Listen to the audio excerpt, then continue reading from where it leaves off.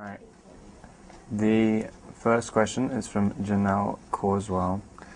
Uh, millions of girls have crushes on you. When you were 15 or 16, did you, uh, did, who did you have a crush on? And do you currently have a crush on? If yes, who? Uh, when I was 15, 16, did I have a crush on anyone? Uh, I had a crush on Patricia Arquette when I was when I was 16, I think, amongst others, but that's the one I can remember. Uh, the other question is from Heather Jones.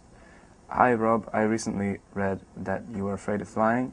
I have had the same phobia for a long time, and I wondered now how you deal with any anxiety before a flight. Also, I want to know if you bring your dog Patty with you, or if she's back in London.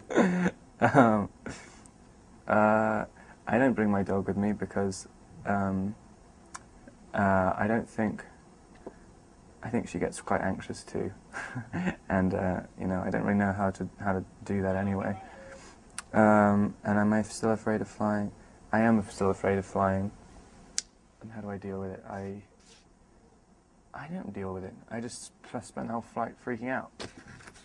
Christine Hinton asked, "What is your idea of a perfect date?" to be honest, a date would be perfect. uh, what would happen on a perfect date? Um,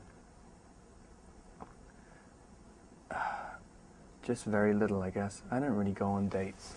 I kind of, if I, if I even, if I even get somebody's number, then I'm, you know, I'm going out with them afterwards, and then it or immediately becomes a hassle.